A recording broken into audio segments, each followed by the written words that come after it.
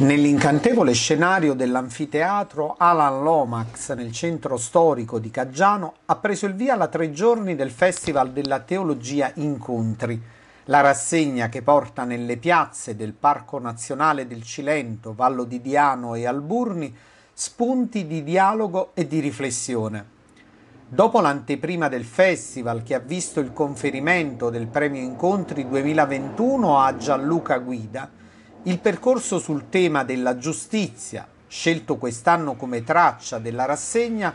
ha visto la presenza del professor Gaetano De Simone, docente presso l'Università Lateranense a Roma, presso la sezione San Tommaso a Napoli e presso l'Istituto Superiore di Scienze Religiose San Matteo di Salerno.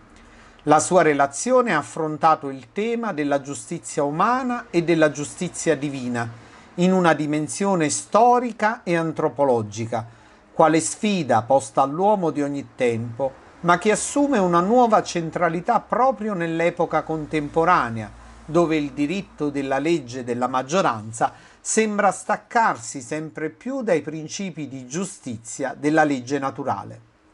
Nel corso della serata c'è stata anche la performance artistica dei ballerini Christian Vece e Maria Chiara Avoria,